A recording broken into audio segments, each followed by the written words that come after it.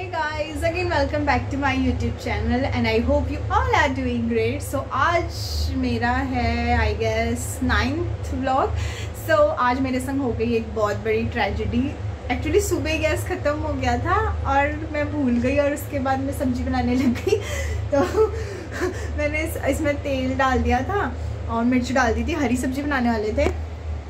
हम मूली के पत्तों की सब्ज़ी बनाने वाले थे। और गैस ही ख़त्म हो गया? हे भगवान क्या होगा मेरा? पूरा भूल गई थी। ओह गॉड मेरा कुछ नहीं हो सकता। सो so, पूरा मामला गड़बड़ गड़बड़ हो गया। अभी क्या है कि अच्छा हुआ कि मैं मार्केट गई थी तो मैंने वहाँ पे इडली डोसा सांभर सब खाकर आई हूँ तो मुझे उतनी भूख नहीं लगी है। और पता है मेन मेन क्या था? ये मम्मी ने अभी ना मुझे कॉल किया था बोलती है फटा हुआ क्यों पहना मैंने कहा फटा हुआ नहीं है ये फ़ैशन है। एक्चुअली ये फटा हुआ ही है। वो हैंगर में मैंने डाला होगा ना इसको तो ये इस पर अटका और टूट गया। मतलब फट गया। चलो कोई नहीं। सो so, मैं क्या बताने वाली थी? तो आज पता है क्या हुआ? सो मच डिस्ट्रैक्टेड पर्सन मेरे बराबर डिस्ट्रैक्टेड कोई नहीं आ देखो मेरे बैंक्स मैंने घर पे खुद ही काट दिए थे। सो लिव इट इसको।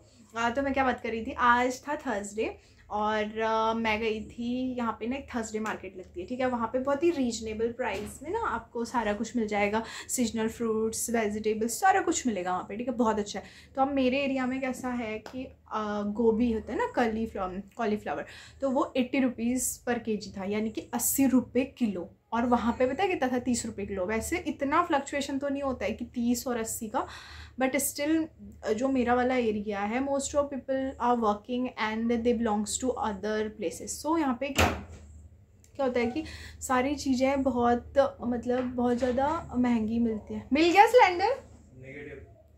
ओहो। उनका भी खत्म हो रहा है। हाँ हाँ। बोला कि सर ले जाओ पर अगर मेरा खत्म होगा तो मैं आपको खटखटाऊँगा।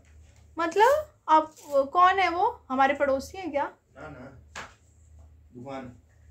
अब रहने दो आप कुछ नहीं बनाएँगे सब्ज़ी। वो तो अच्छा हम बाहर से खा के आए थे। ये इसमें क्यों है मूंगफली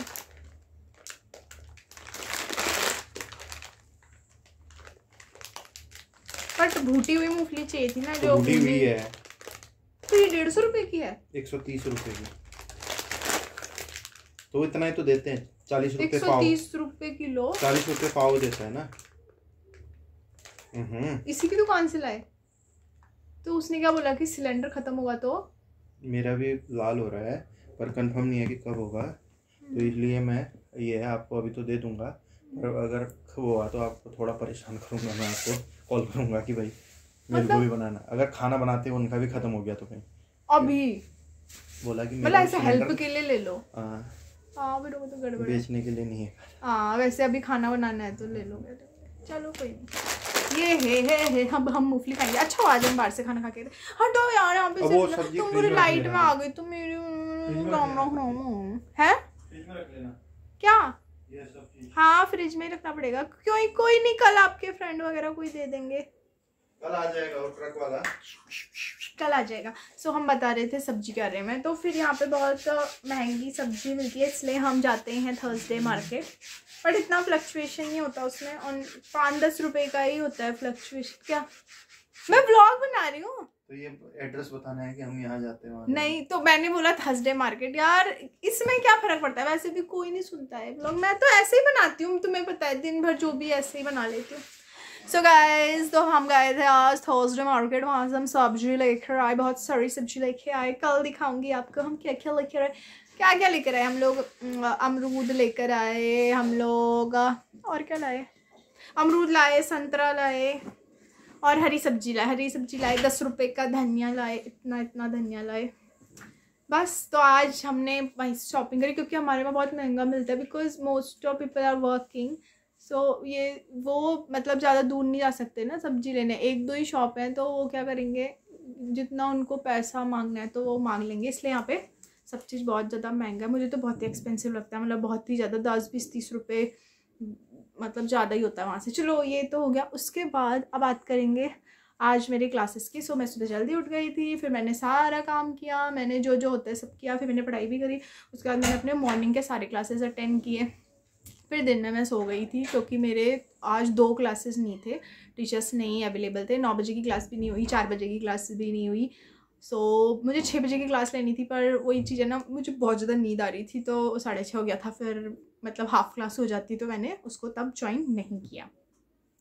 So this is all about आज के बारे में बट आज तो मतलब गैस ख़त्म एक्चुअली सुबह मैं नाश्ता बना रही थी ना तो सुबह ही ख़त्म हो गया था गैस यार, मैं जब वीडियो बना रही हूँ यहाँ पे कुछ चमक रहा है, यानी कि मेरा सफ़ेद बाल है। आई गैस देखो, मैंने बता ऐसे करके ठीक लग रहे ऐसे से मैंने थोड़े से कर दिया मुझे शौक हो रहा था बट वो कोरियन बैंक्स तो नहीं आए वैसे। तो वो बाद में जाऊँगी ना, वैसे मुझे गाली पड़ेगी जब मैं बाद में हेयर कट करने जाऊँ, क्योंकि जहाँ, मैं जब जाती हूँ ना सैलून में तो वो यही बोलते हैं, आप घर पे मत कट किया करो, फिर शेप ख़राब हो जाती क्योंकि मेरा ए लाइन हेयर कट है ना ऐसे पीछे से छोटे फिर ऐसे। बट कोई नहीं मैंने आगे से किया। अगर मैं ऐसे करूँगी ना जैसे तो पता नहीं चलता। पहले ना हम ऐसे बाल बनाया करते थे कॉलेज के टाइम पे। इतना मेरा तो पॉप इतना बड़ा होता था। इत, इतना बड़ा भी होता था मेरी फ्रेंड और मेरा। ओ गार्ड और फिर मेरे पास कुछ कुछ फ़ोटोज़ भी हैं बट कुछ ना डिलीट डिलीट नहीं हुए वो गलती हो गई। उनको गूगल फ़ोटोज़ में नहीं डाला ना पहले पता नहीं था। तो वो क्या हुआ, शायद मेमोरी कार्ड रखते थे पहले तो मेमोरी कार्ड जितने ख़राब होते गए फ़ोटोज़ भी गायब होते गए। तो ये चीज़ें, नहीं तो मैं आपको दिखाती, इतने, इतना बड़ा बड़ा पप बनाते थे, इतना बड़ा बड़ा पप और फिर ऐसे जुल्फे निकालते थे। So guys it's all about today I hope आपका दिन भी अच्छा गया होगा, और अच्छा हुआ यार, मुझे सच में बहुत भूख लगी थी अच्छा हुआ मैं डोसा खा के मुझे साउथ इंडियन खाना बहुत अच्छा लगता है। अपने वहाँ का खाना भी अच्छा लगता है, लेकिन साउथ इंडियन मुझे ज़्यादा अच्छा लगता है। मुझे इडली बहुत पसंद है, मुझे डोसा भी पसंद है बट मुझे इडली, साम, इडली और नारियल की चटनी, कोकोनट का जो चटनी होता है, वो मुझे बहुत पसंद है। आई लव एट अच्छा है ना, वो टेस्टी सा लगता है और बहुत सिंपल सा लगता है। बाकी वही अपना तो रोई है भाई, रोटी, सब्ज़ी, दाल, भात।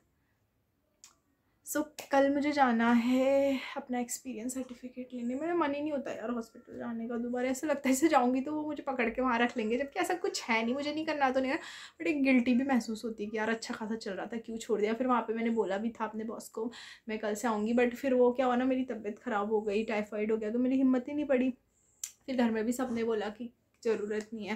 पहले अपनी हेल्थ सही करो फिर जाना।